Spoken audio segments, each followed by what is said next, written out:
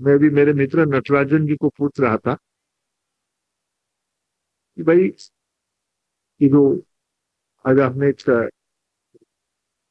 मंच बनाई है। उस मंच में कौन कौन है I I T minister of skill development, ministry of defence शायद इन दिनों में डिफेंस जैसे एक हाई प्रोफ़ाइल मिनिस्ट्री है। उस हाई प्रोफ़ाइल डिफेंस मिनिस्ट्री जिसकी सभी देशों के लिए अपनी डिफेंस की महत्व है।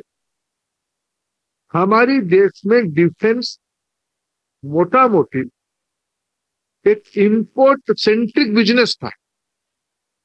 भारत की सैन्य शक्ति को समर सज्जा करने के लिए हम सारे चीज़ विदेश से लाते थे।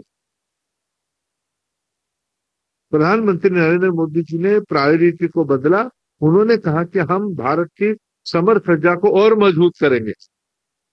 लेकिन एक शर्त है, जिनको हमें देना है वही बनाना पड़ेगा। इसीलिए I am congratulating you and I am thankful to you mister Gerlot you are here ना you are part of our future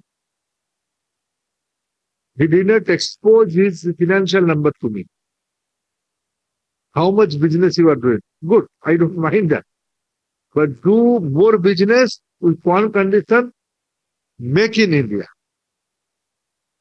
You put up your plan, you build more you you do more business in India इसलिए मेरे को नटराजन जी ने जो तथ्य दिया है आज हमारी देश की हम एक समय में नेट इंपोर्टर हमारी रिक्वायरमेंट थी सेवेंटी परसेंट नेट इंपोर्ट हम बाहर से करते थे। लेकिन धीरे धीरे हमारी डोमेस्टिक प्रोक्योरमेंट हम इंपोर्ट बाहर से आयात करते थे सत्तर प्रतिशत, आज हमारी देश में खुद की डोमेस्टिक प्रोक्योरमेंट हमारी रिक्वायरमेंट की लगभग सत्तर प्रतिशत हो गया है। हम एक बार ऑफसेट कर चुके हैं। ऑफसेट बैलेंस की और हम बढ़ रहे हैं। थोड़ा कम है, लेकिन हो ही जाएगा। और इस बार डिफेंस प्रोडक्शन हमारे देश में।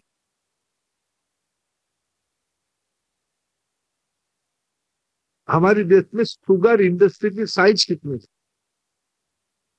हमारे देश में शुगर इंडस्ट्री की साइज़ लगभग एक लाख करोड़ रुपया है, एक लाख रुपए के हमारे देश में सबको प्रभावित करने वाला टेलीकॉम बिज़नेस की आज के दिनों में साइज़ क्या है? मैं दो तीन साल पहले की स्टैटिस्टिक्स कोट कर सकता हूँ। अभी शायद उसमें से थोड़ा बढ़ा ही होगा, लेकिन ये तीन लाख करोड़ के आसपास। हमारी डिफेंस प्रोडक्शन की साइज़ अभी एक लाख आठ करोड़ रुपया हो गया है, ये प्रधानमंत्री जी की दूरदृष्टि का एक बड़ा स्टेटमेंट है। और उसमें हम कभी कल्पना करें, भारत अपने रिक्वायरमेंट को इंपोर्ट करता था। आज हम सोलह हज़ार करोड़ रुपया यानी लगभग ढाई तीन बिलियन की हम लोग एक्सपोर्ट कर रहे हैं।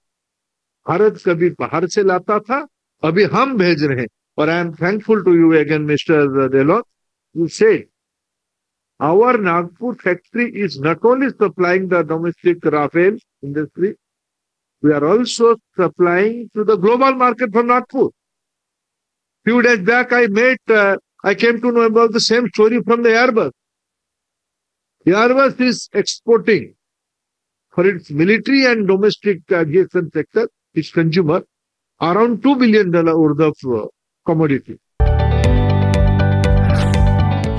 जदि आपंक आम भिडी भल लगा तेब आम चेल्क लाइक शेयर और सब्सक्राइब करने को जमा भी बुलां नहीं